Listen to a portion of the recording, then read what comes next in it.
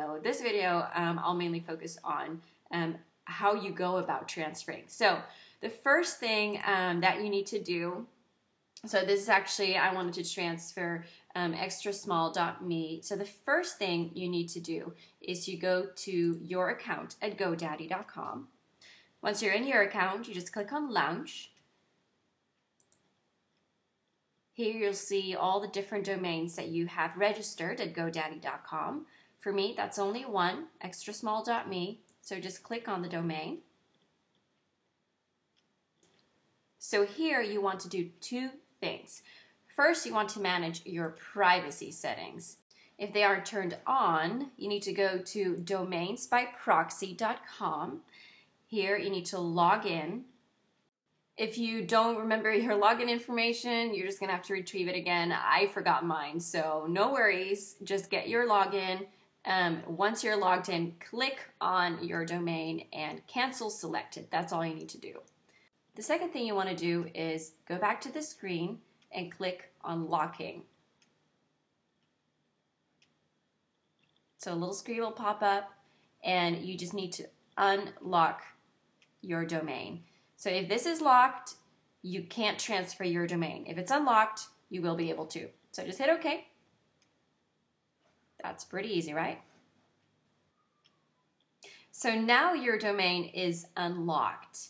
The final thing that you need to do here at GoDaddy is you need to get a permission code, an authorization code, which you can find right over here.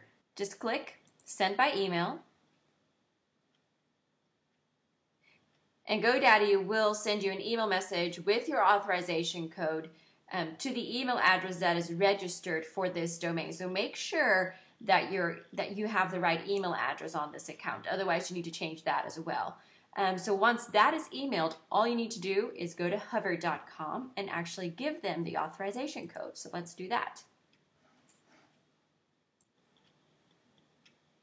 So you just want to click on domain transfers or you can go to hover.com slash transfer. And you just want to enter um, your website, the domain that you want to transfer over to hover.com. For me, that's extrasmall.me.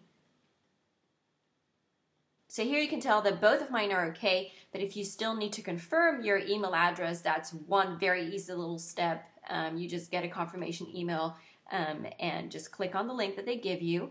And you can also see that my domain at godaddy.com is unlocked. So just click on continue. And fill out this form. If you have an account, you can log in. If not, you can sign up. Pretty easy.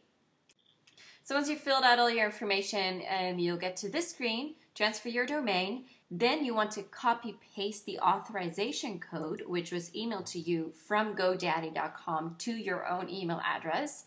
Um, that can actually take up um, or can take a little while.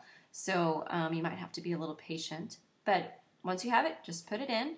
Um, put in the promo code if you have one. I have one, Frank, um, which gives me 10% off, which is good.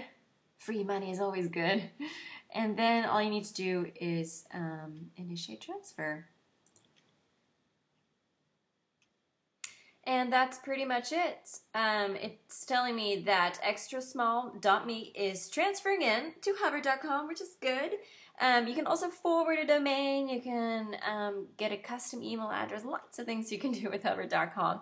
Um, and also remember that you can definitely um, use um, that promo code I was using, Frank, um, if you want a discount on anything that you do at hover.com. So I hope this helped. Good luck with transferring your domain and have a great day. Bye.